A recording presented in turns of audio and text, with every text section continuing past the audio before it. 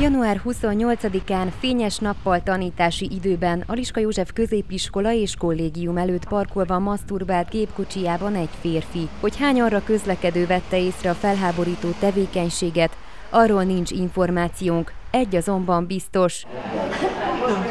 Az intézmény ezen termében tanuló diákok az ablakon keresztül kiváló rálátást nyertek a férfira, mi több, tettét le is videózták.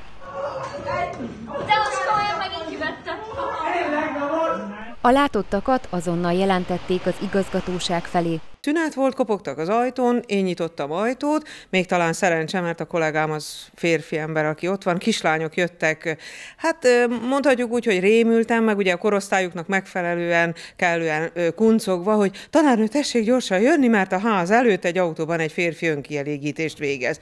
Hát így megálltam egy pillanatra, hogy mi van? És akkor már húztak magukkal gyakorlatilag, hát aztán végül mm, mondjuk én a terembe bementem, és akkor mind mondta egyszerre, meghallgattam őket, hogy mit történt, akkor már a fiúk az arcomba nyomták a videót, mert hát a mai telefonokkal ugye ezt is gyorsan megcsinálták, és hát mondtam, hogy jó, akkor megyek és intézkedünk. A tanulók az autó rendszámát is megfigyelték. Az intézmény igazgatója jelentette az esetet a meglévő adatokkal a helyi közterületfelügyelet munkatársainak, valamint a rendőrségnek, akik azonnal a helyszínre érkeztek.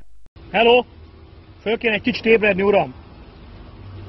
Le kéne állítani a kocsit, jó? Igen. Van egy olyan probléma, itt van a kollega nyomozó. Igen. Erős áramú iskola előttön fajtalankodás végzett.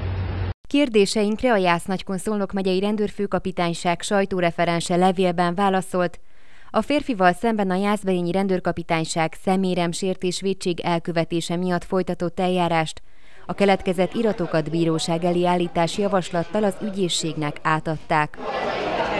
A diákok kamerán kívül elmondták, megbíznak pedagógusaikban, így nem volt kérdés, hogy azonnal hozzájuk forduljanak a meglehetősen kínos esettel.